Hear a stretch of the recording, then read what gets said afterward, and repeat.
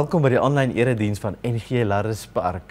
Mag jy vandag vir God op 'n besondere wyse ervaar, daar waar jy agter jou skerm sit, dalk in 'n huisie naby waar jy iemand versorg of self siek is nie kan uitkom nie, of daar oor see sit en net terugverlang na goeie Afrikaans. So kom ons luister na Madeleine Brits wat vir ons die Larris Park weekliks gaan voorhou en waarvan jy kan kennis neem van hoe jy omgee kan ondersteun.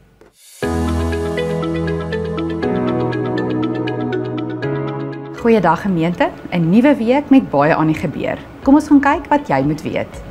Ons herinner almal daaraan dat daar slegs een erediens sonnaandoggende om 9uur sal wees van vandag af tot en met die 9de April. Eredienstye sal dus eers weer vanaf die 16 April terugkeer na normaal. Ons aanlyn erediens sal steeds om 8uur die oggend op ons YouTube kanaal uitgesaai word. Die kinderkerk, die veranderdiens asook dieper delf sal ook eers weer vanaf 16 April hervat word. Die jagseisoen is amper hier. Jagters skiet gereeld meer vleis as wat hulle in hulle ysgasse kan bære en skenk dan graag hierdie ekstra vleis. Indien jy hierdie jagseisoen 'n bok of 'n stukkie ekstra vleis wil skenk, kontak gerus vir Dr. Lize Meyering.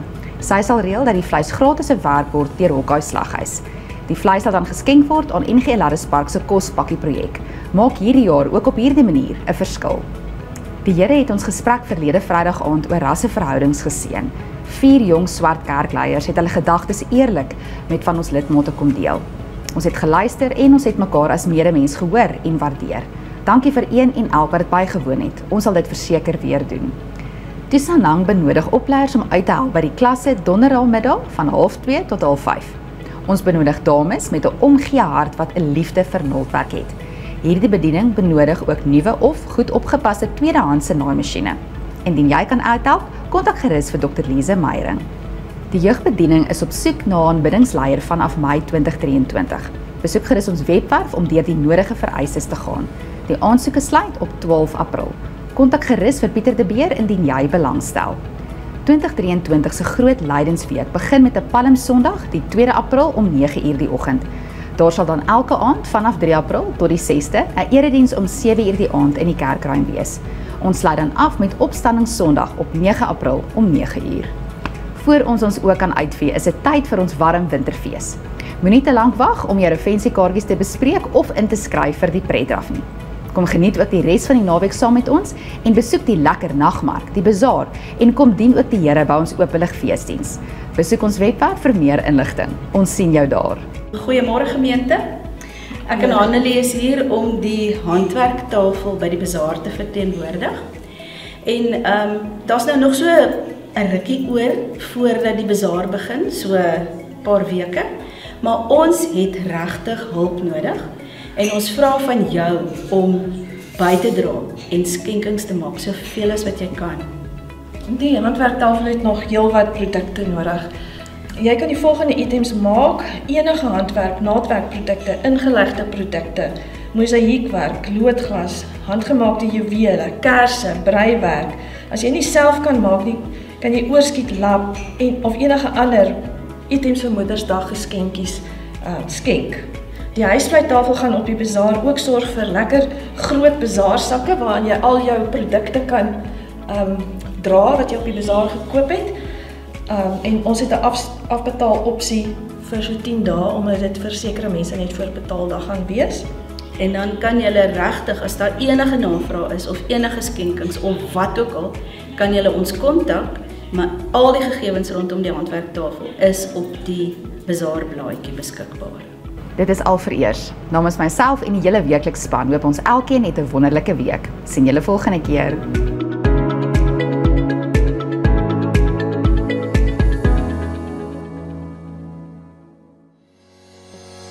Om geld te kan verdien is 'n seëning. Om geld te kan spaar is ewenigs 'n seëning. Om geld te kan gee is 'n groter seëning. Om te verdien en te spaar en te gee is die wyse waarop ons voorsien. Ons voorsien aan ons eie behoeftes. Ons voorsien aan die behoeftes van ons gesin en familie. Ons voorsien aan die behoeftes van diegene in nood. Verdien jou geld blymoedig, spaar blymoedig en gee blymoedig, want God het die blymoedige mens lief.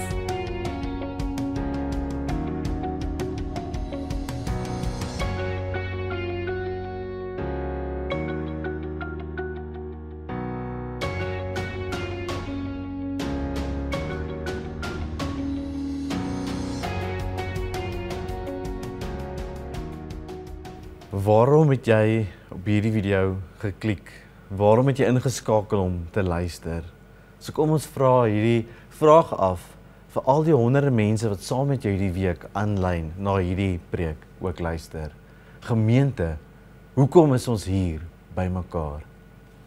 Om as priesters namens ons gemeenskap en die wêreld aan God lof, eer en aanbidding toe te bring. Kom ons besing die lof van ons Here Jesus. Ons sing Here God van liefde. Kom ons aanbid die Here saam.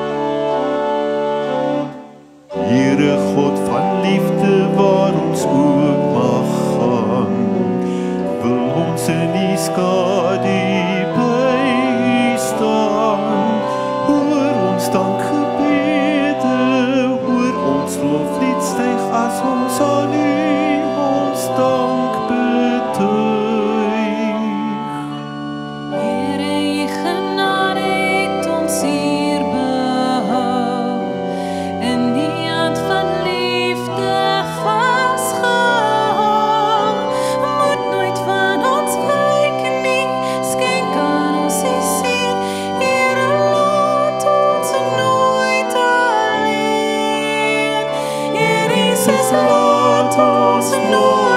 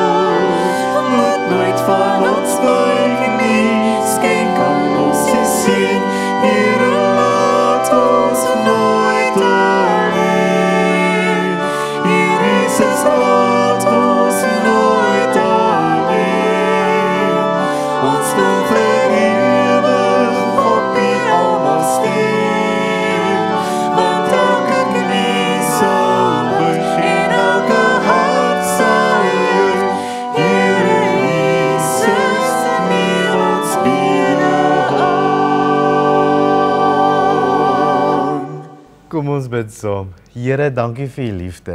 Dankie dat u goed is vir ons. Here, dankie dat u teenwoordig is daar waar ons agter ons skerm sit en kyk en deelneem en en hunker na u en 'n behoefte het om te behoort en liefgehet te word. Here, ons gebed is mag ons u stem hoor hoe u met ons praat deur die teks, die woord en die gedagtes en die preek.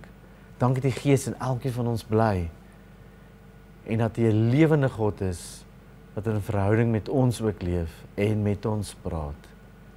Mag ons diep bewus word daarvan. In Jesus se naam bid ons dit alleen. Amen. Liefde kan veelkantig wees met baie kleure. Maar soms is dit grys en morsig. Ons sê in dieselfde sin dat ons lief is vir rugby of ons lief is vir sjokolade en dat ons lief is vir ons lewensmaat.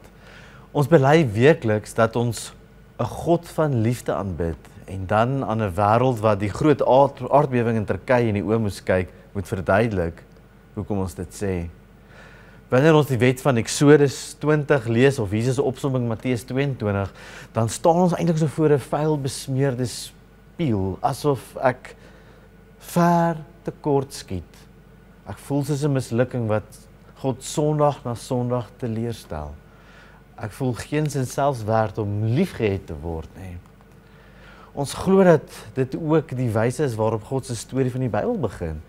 Is dit nie immers wat die skepingsverhale vir ons aan die begin van die Bybel probeer vertel nie, waar sonde vandaan kom en hoe dit deel van God se skepping geword het nie? Dis asof God behep is met ons sonde. Dis asof ons sonde God se aandag trek.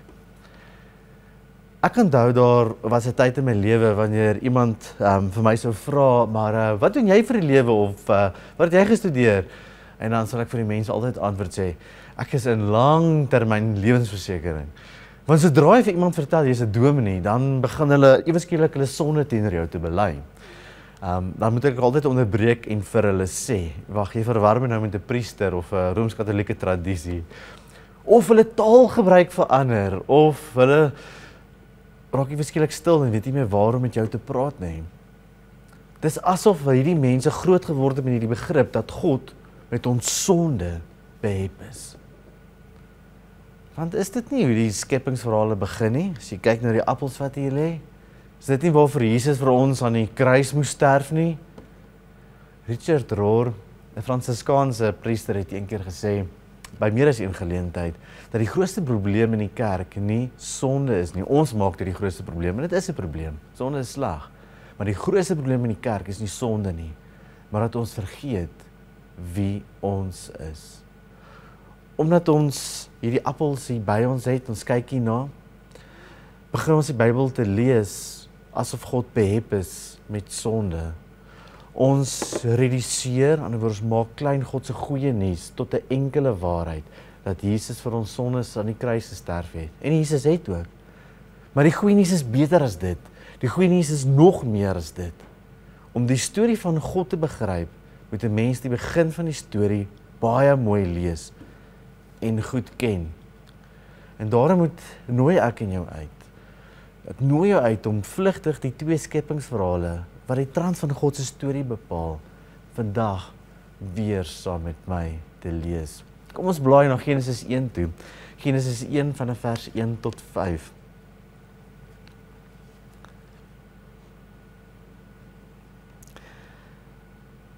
Luister mooi. In die begin het God die hemel en die aarde geskep.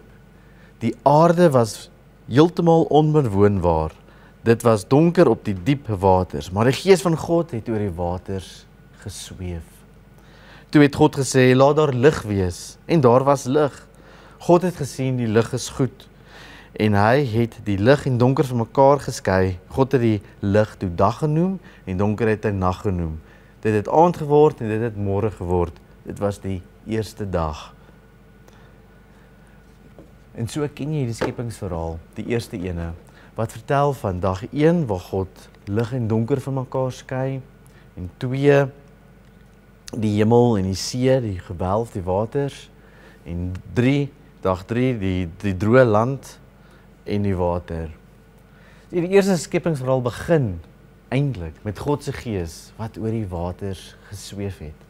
Jy kry die idees um of die beeld van 'n voël wat haar vlerke uitsprei.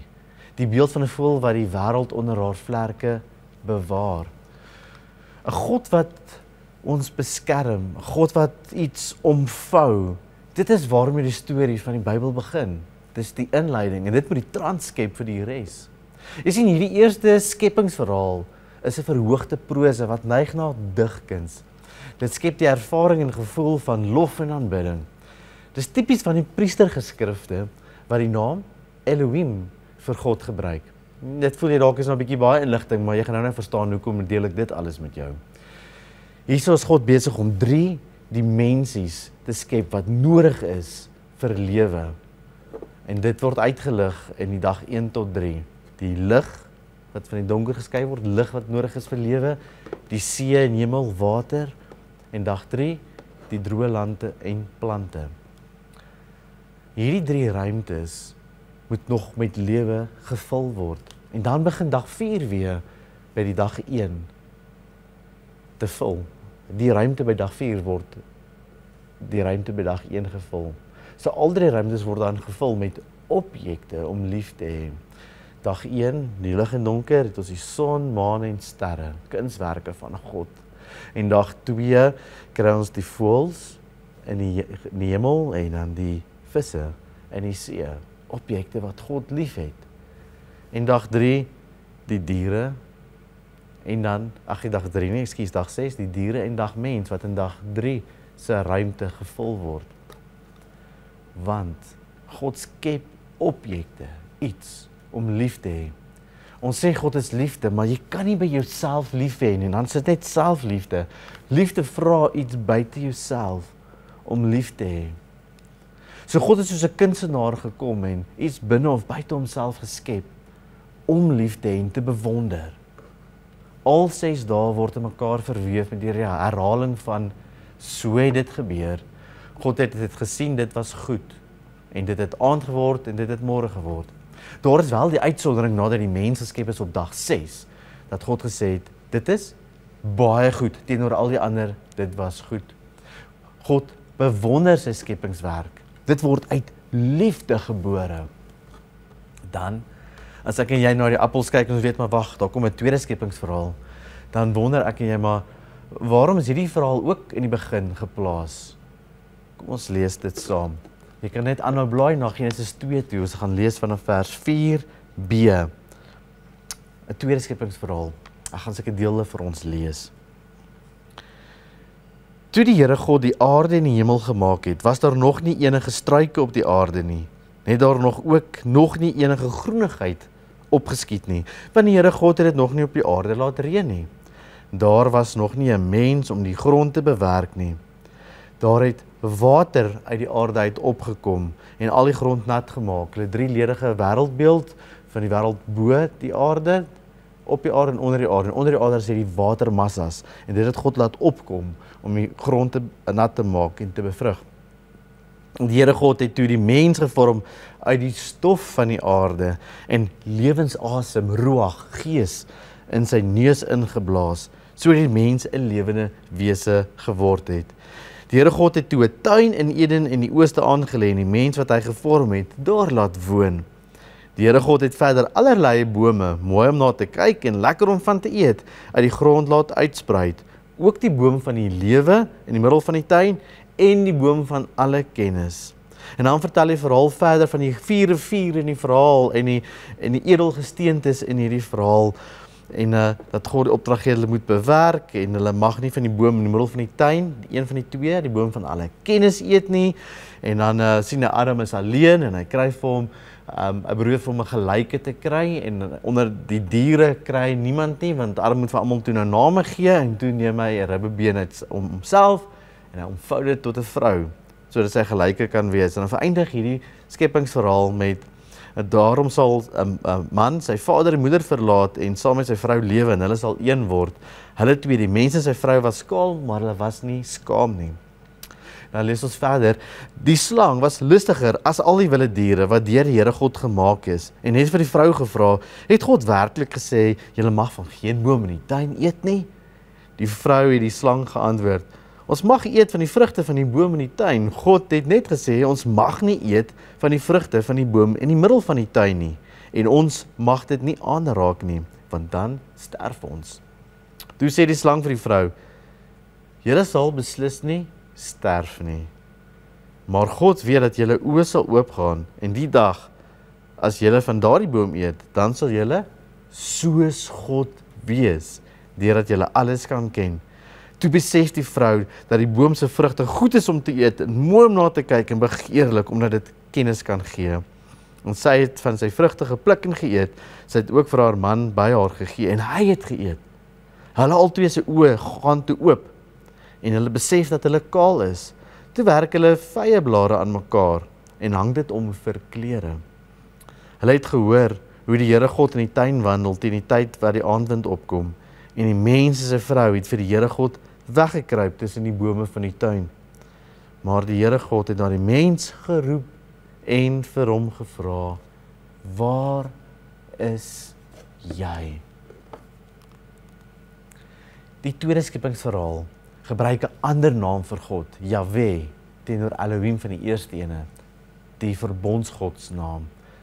Daar is 'n ander volgorde as die eerste skepingsverhaal.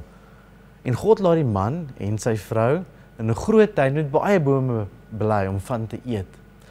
Daar is twee bome in die middel van die tuin, die boom van lewe en die boom van alle kennis van goed en kwaad. Genesis 3 eindig vir God 'n versigtiging rig en sy plaas hulle maar eerder van die boom van die lewe geëet het. So Genesis 2 en 3 is wysheidsliteratuur. Jy sal onthou daar in Psalm 8 begin hy sê wees die mens dat een hom dink dat hy hom 'n bietjie minder as 'n hemelse wese gemaak het. Sê wanneer ons engele of hemelwesens probeer wees of soos die skepingsverhaal soos God probeer wees, is ons besig om oor 'n grens te beweeg, 'n grens na God toe. En dis 'n groot fout. Dis nie wysheid nie. Aan die ander kant is dit ook as ons daar ook 'n grens um, dat ons nie moet oorskry nie, die grens van na die diere toe. Want daar's kon God 'n gelyke vir die mens kry tussen die diere nie. Ons is dis grensmense, grensmense wat die behoefte het om diep liefgehê te word en ander lief te hê. Maar wanneer ons waag om lief te hê, dan ontbloot ons onsself. Selfs God word nie van hierdie diep teleurstelling vrygespreek of gevrywaar nie. Wanneer die mens hierdie fout maak en van die vrug eet, is daar diep teleurstelling. Maar om lief te hê loop ons altyd die risiko om diep seer te kry of teleurgestel te wees. Die ironie van die storie is dat die mens, Adam, in die tweede skepingsverhaal van stof gemaak word. Hy en sy vrou. En natuurlik soos Genesis 3 sê, weer tot stof sal hulle terugkeer.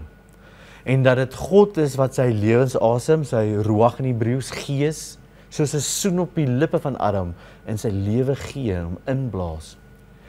Jy sien selfs lewe wat God vir ons gee word uit liefde gebore. Tog bly Adam stof, broos en breekbaar. Die woord Adam beteken grond of stof of mens kan sê in hierdie geval stofmannetjie. Dit is God se gees of sy lewensasem wat ons of hom aan mekaar hou. Nou ons as mense is diep bewus van ons eie broosheid en ons breekbaarheid en hoe maklik ons val. Nou om hom Adam of haarself Eva te beskerm en meer sekerheid te gee dat ons nie met mekaar uit gaan val nie. Lyk vir my is die oplossing vir hulle wat die slang bied om selfs goddelik te word of soos God te word en te wees. Dit sal 'n stuk permanensie vir hulle gee, 'n stuk sek sekerheid, sekuriteit dat hulle oukei sal wees.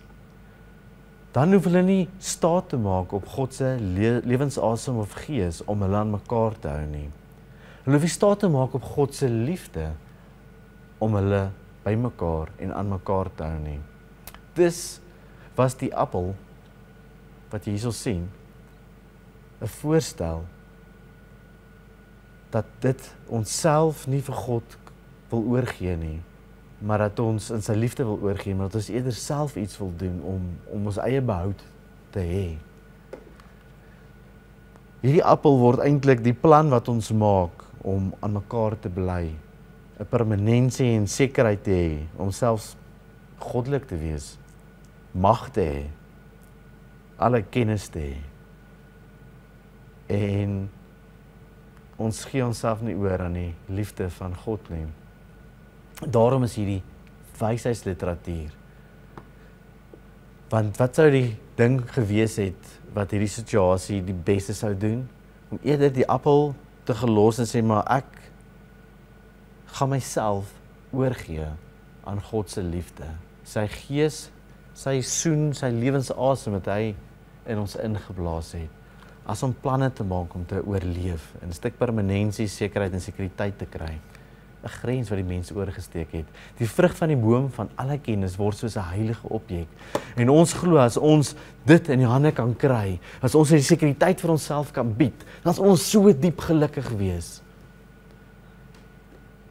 Ons glo dat ons beter af gaan wees as ons na ons eie behoeftes gaan omsien, eerder as wat God deur sy liefde vir ons wil sorg. In hierdie skepingsverhaal glo mense dat dat dit sonde is wat God se oog vang, dat dit sonde is wat maak wat God reageer. Ek ek dink jy hulle is heeltemal reg nie. En so begrip of denk het 'n enorme implika implikasie vir die wyse waarop ons die res van die Bybel en die stories lees wat daarop volg. En selfs die godsbeeld wat ons vashou. Jy sien die die meeste mense sou by die tweede skepper verhaal vassteek by wat hulle noem die sondeval. En daarmee sê hulle die verhaal van hoe sonde en gebrokenheid in die wêreld ingekom het. Nou die verhaal probeer dalk iets daarvan te vertel, maar dit klink alles behalwe na 'n liefdesverhaal. Maar dan moet ek en jy weer onthou wat het ons gelees vanoggend, vandag. Die skepingsverhale begin met God se gees wat oor die aarde gesweef het soos 'n voël wat haar kuikens beskerm en versorg. Die skepingsverhale vertel 'n storie van mense wat gebore word vanuit liefde, geskep word in die beeld van God wat liefde is. Liefde is ons bron van oorsprong en liefde is dit wat ons vervul. Die skepping was God se plan vir vriendskap. Ons is nie geskep om bloot om net te dien nie, asof God egosentries is en net klomp minions wil maak wat net hom aanbid en hom eer gee nie. God is groter as dit. God se behoefte was aan kameraadskap. Companionship soos ons in Engels sê. Maar iets het verkeerd gegaan. En David Benner skryf dit mooi in sy boek. Hy sê liberty was instantly replaced by bondage. Intimacy by alienation. Genuine love was reduced to self-love. And the result was egocentric and estrangement from the deepest self, God and others. Ek glo Richard Rohr se opmerking is waar. Ons het vergeet wie ons is. Dat ek 'n geliefde van God is. Net soos God se gees die aarde omvou, so probeer Adam en Eva na hulle vervreemding ook hulle self omvou met vrye blare en dan lees ons later in Genesis 3 vers 21 dat God vanuit sy liefde kom en hulle omvou met klere van leer. Want vrye blare gaan nie hou nie. Hierdie wêreld is hard en moeilik. Hulle gaan beskerming, liefde nodig hê. Ons is gebore vanuit God se liefde. God as liefde kan niks God as liefde kan niks anders lief hê nie. Binne homself, hy skep iets om lief te hê buite hom en dis ek en jy. Hy benodig 'n objek van liefde en dit is wat die skepingsverhale vir ons vertel. Selfs na die vervreemding eindig hierdie verhaal voordat God in die gesprek met hulle tree. Is die eerste woorde van God nie sy teleurstelling nie. Nie van wat het jy nou gedoen nie. Sy eerste vraag was: Mens, waar is jy? Hoor jy die liefde vir God vir jou? Die liefde van God vir jou. Mens, waar is jy? God soek jou. Kom ons bid saam. Here, dankie vir u liefde. En Here, dit is so dat in ons lewe is dit baie keer chaos en ons voel vervreemd. En en ons het baie keer nie vrymoedigheid om dit te praat nie want ons voel so vuil en en sondig en asof ons tekort skiet. Maar Here, dit is so eg in ons gereformeerde tradisie. Maar Here, as ons hierdie skepingsverhale begin lees as 'n liefdesverhaal, as ons die eerste vraag, eerste antwoord, mens, waar is jy? En dan hoor ons iets anders. Ons hoor die liefde en ek wil sommer net opspring sê Here, hier is ek. Here sien my raak en ek weet dit doen en sien my raak agter die skerm. Ek het ek het die liefde nodig. Ek het nodig dat U liefde my vul en en weet dat U liefde my op so 'n manier vul dat dit oorloop sodat ek die mense om my kan lief hê. Here, U liefde is vir my genoeg. Dit bied my die nodige sekuriteit te midde van klomp onsekerhede in hierdie wêreld waar ek my mag bevind. Dankie daarvoor, Here. Dankie dat ek in liefde kan sit en weet dat U in die liefde my wat agter die skerm sit ook vashou. In Jesus se naam bid ons dit alleen. Amen. Ek wil jou uitnooi om die nagmaal saam met my te gebruik. En die nagmaal staan ook bekend as die liefdesmaal. Terwyl jy jou tekens reg kry, wil ek uh, nog 'n aanhaling van David Benner vir jou voorhou. The story of Jesus is a story of love personified. We miss the point when we simply try to do what he tells us to do and we miss the point when we merely try to follow the pattern of his life. His life points back to his own source. His life is intelligible only when it's understood as a personification of divine love. En daarom wil ek jou uitnooi om hierdie tekens van liefde saam met my te gebruik.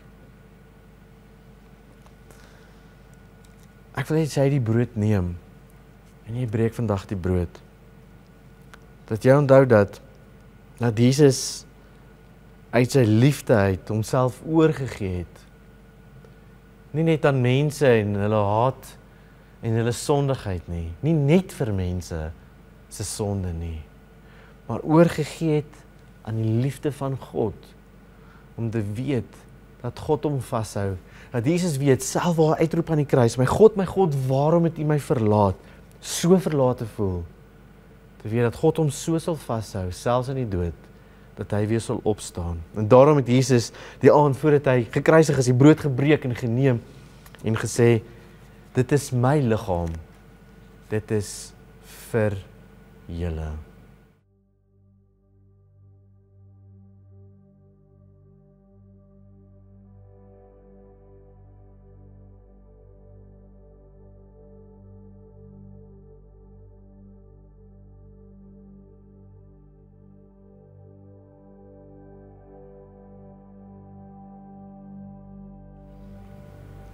Daarna het Jesus die beker geneem. Ek sê hierdie is die beker van die nuwe verbond, nuwe ooreenkoms.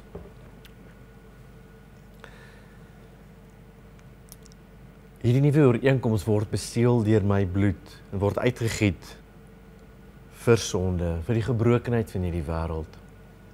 Maar hoor mooi, ek nooi jou uit om saam met my te eet en te drink. Dis 'n liefdesmaal kameraadskap, ek wil by jou wees. Dis liefde. En wanneer jy daai drink, gebruik dit tot ter nagedagtenis van wat Jesus ook vir jou gedoen het en hoe sy liefde met jou gedeel het.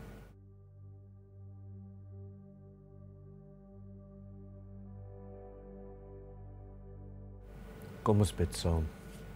Here, dankie vir die tekens waar ons aan tafel saam met U kan sit dat ons met U kan gesels, met U kan praat. En Here dat dit net weer by ons kan insink dat U ons geskep het om lief te hê. Dat niks wat ons doen kan maak dat U ons meer of minder liefhet nie. U het ons lief. En Here, ons as gelowiges wil graag op U liefde reageer. En nie, ons kan nie anders nie. En Here, ons wil vandag weer sê, dankie Here dat U ons liefhet. Ons het U ook innig lief. En omdat ons U liefhet, Here, wil ons dan op so 'n wyse lewe dat dit eer bring aan wie U is. Mag ons tot rus kom in U liefde. Mag dit die nasmaak wees in ons monde. Mag dit die energie wees in ons hande en ons voete. In Jesus se naam bid ons dit alleen. Amen.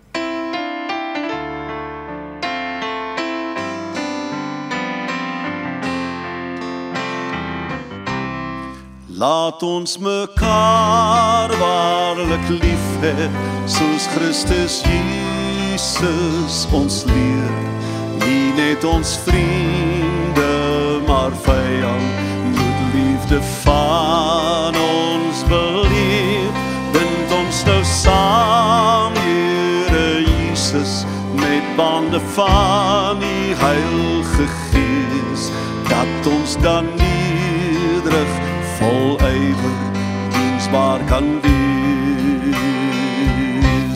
Laat ons mekaar waarlik lief hê, soos Christus Jesus ons leer. Nie net ons vriende, maar vyand moet liefde van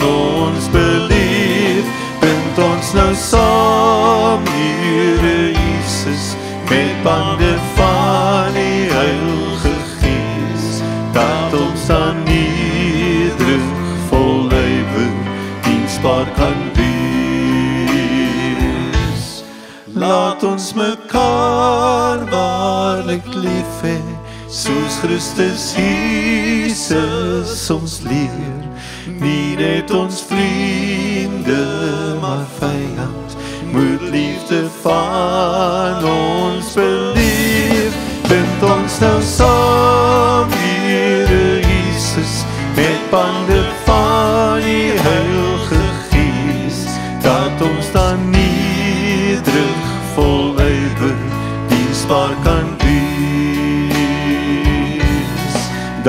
ons dan nederig vol ywer diensbaar kan wees dat ons dan nederig vol ywer diensbaar kan wees Gemeente, God stuur ons as priesters in hierdie wêreld in. En as priesters lewe ons as simbole van sy liefde. En mag mense na my en jou kyk en sy liefde ervaar. Kom ons sê hierdie uitsendingswoorde hardop saam. Waar ons ook al gaan, God stuur ons. Waar ons ook al is, God is met ons. Christus wat in ons woon, het iets wat hy deur ons wil doen. En daarom glo dit en gaan want die genade van ons Here Jesus Christus en die liefde van God die Vader die teenwoordigheid van die Heilige Gees die ruach lewensasem wat in my en jou ingeblaas is wat ons bymekaar hou sal met jou wees. Amen